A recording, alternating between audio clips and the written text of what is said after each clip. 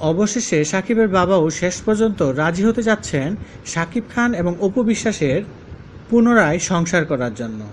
সম্প্রতি এমনটাই জানা গিয়েছে।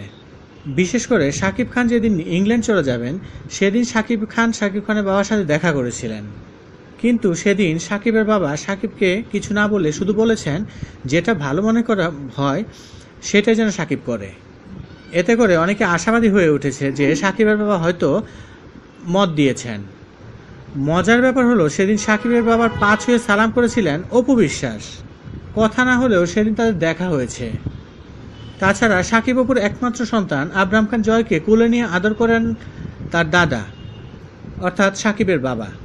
আর এই খবরটি নিমিষে ছড়িয়ে পড়ে এবং সবাই সাকিবের বাবাকে অনেক ধন্যবাদ জানানো শুরু করে।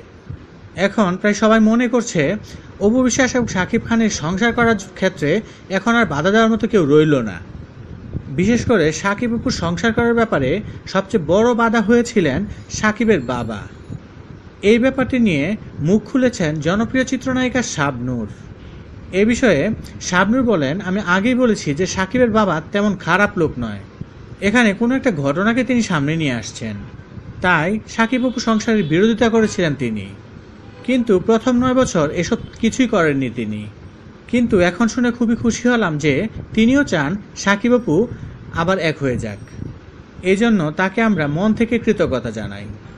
আমার বিশ্বাস, একমাত্র সাকিবের বাবাই পারবে সাকিব খান এবং অপু বিশ্বাসকে আবার একত্রে সংসার করাতে বাধ্য করতে।